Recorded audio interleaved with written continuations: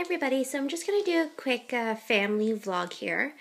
I know as saving as savvy couponing mom, I often talk about my shopping hauls and how to save money using coupons and price matching. So today I just want to show you um, in my everyday life how I apply my tips to real life. So this is actually um, a look into my daughter's playroom. As you can see here, um, she's just in her little reading nook that I created. Um, just want to show you some of the toys that we've gotten secondhand or got a really good deal on.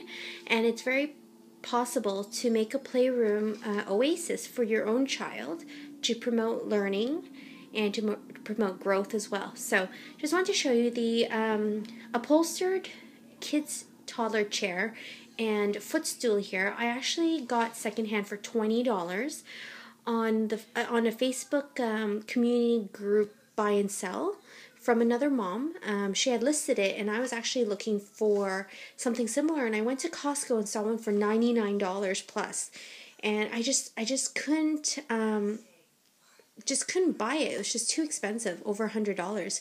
So I ended up um, looking on secondhand websites uh, where other moms are selling their items. And I was lucky enough to find this chair for $20. It's upholstered, it looks leather, only $20. So I thought that was a really great deal. Actually comes with a footstool as well.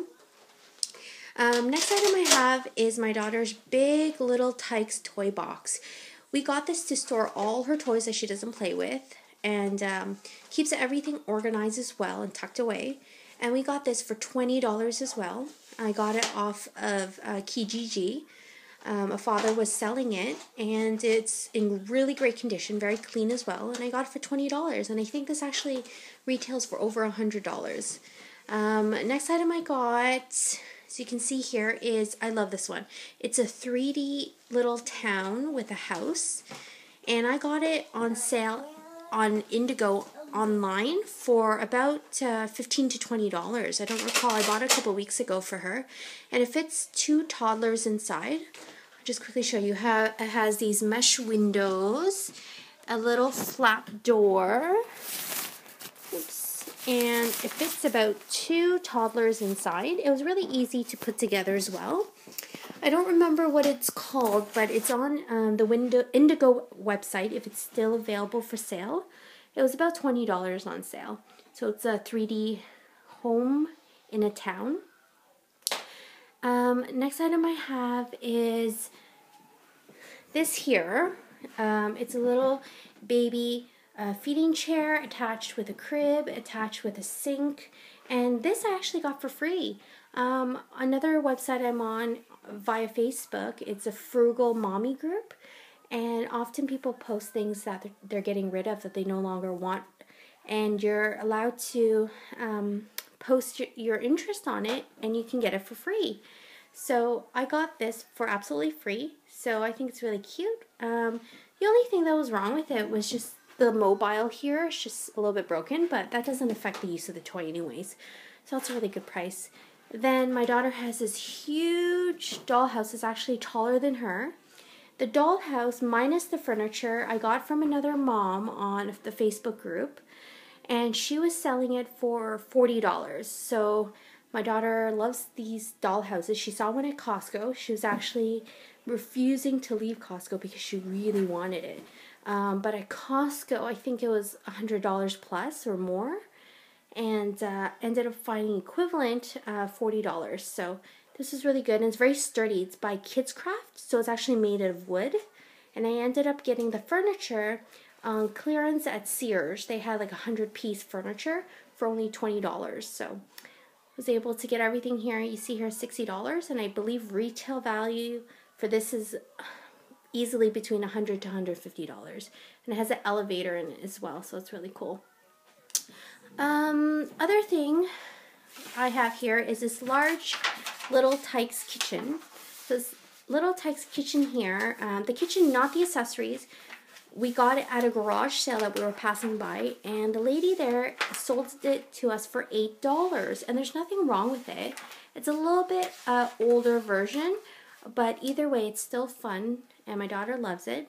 We ended up getting just some um, utensils and things from Ikea for her to use. But this kitchen itself was $8 and I've seen equivalent um, to this in stores for easily between 40 to $100 plus at Toys R Us. And this one only costs us $8. And uh, the last thing I have here is a talking dollhouse. It's called Mrs. Goodbee, and it's a three um, it's a three fold out dollhouse. This um, I don't think they build this anymore. They don't sell anymore in stores. But um, I there was a mom that was selling it on one of the moms groups, and she was selling for fifteen dollars. So I actually got this for fifteen dollars, and it comes with some accessories. And there's buttons in there where you press and actually makes sounds and talks. So um, I believe this would have retailed easily over $100 as well because it's a talking dollhouse.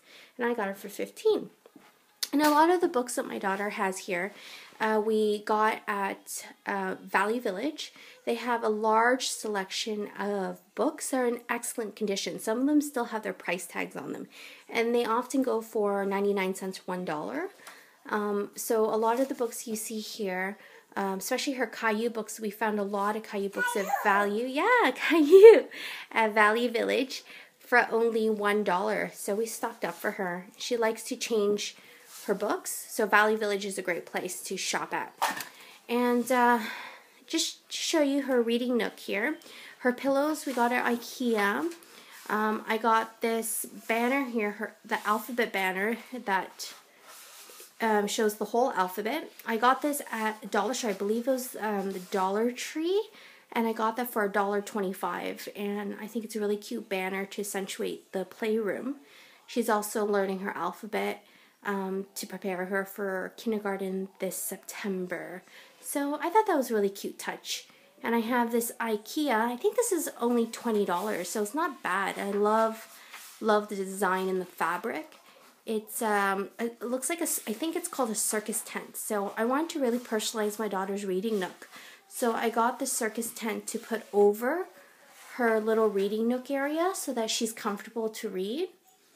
So uh, yeah, so every night she reads and uh, we read a book together right before bedtime to promote reading. So just wanted to quickly show you um, once again, all the items and toys, a majority of the toys, I, I wasn't able to go through each and every one of them, but majority of them I was able to get secondhand. And remember, if you're buying secondhand, to also um, use Lysol wipes or bleach to clean it um, because you want to be safe than sorry, right? So make sure that you do clean it, and especially if you have a kid that's very curious and loves to learn, sometimes having the same old toys um, doesn't do it for her. So I need to always make sure that she is engaged in her toys and keeps her interested and not bored so easily.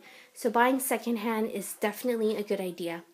So just wanted to quickly show you um, her reading nook and her playroom and how I've kept my eyes out for deals for um, my family as well. So not just for couponing and for groceries and personal items, but for my daughter's toys as well.